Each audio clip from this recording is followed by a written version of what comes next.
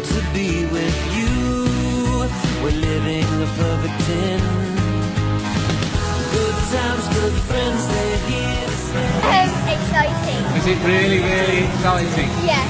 As the sun won't go away. A good day today.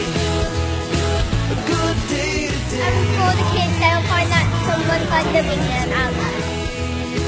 A good day today.